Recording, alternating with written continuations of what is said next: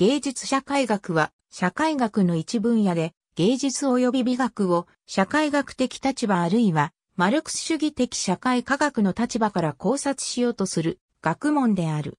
歴史を通じた芸術社会学の研究とは芸術の社会史、すなわちある社会が特定の芸術家の登場にどのように貢献したかを研究することである。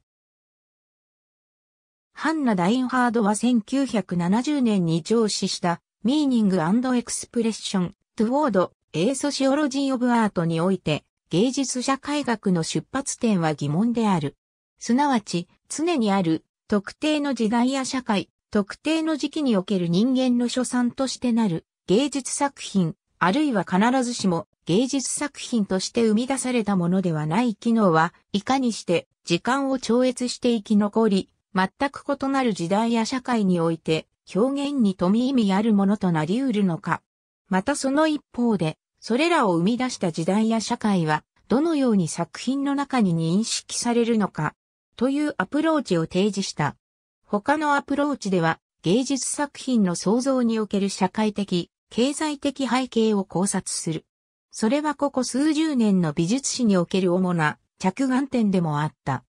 また、芸術のパトロンと消費者、そして芸術家自身の役割が考察されるとともに、単なる来歴にとどまらず、古美術品がどこで創造されて現在ここにあるのかということや、美術品収集の歴史にも大きな関心が寄せられる。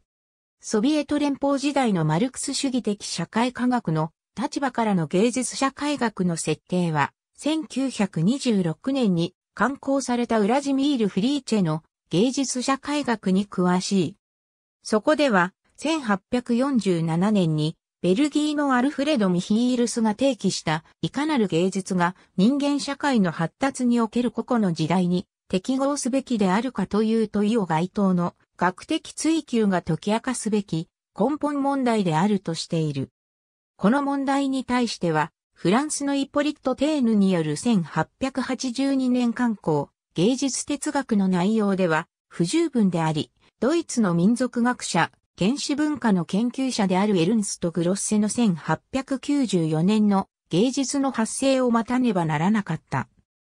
そこでは、狩猟民族の研究の結果、芸術の本質を形成する根源は、気候や思想の状態ではなく、経済もしくは経済組織であると決定することができた。しかし、グロッセは人類発達の低い段階においては、芸術は経済組織により決定されるが、より高い段階においては、この連携は破られ、芸術はその本質において経済によってではなく、芸術家の創造的個性により制約を受けるとするのである。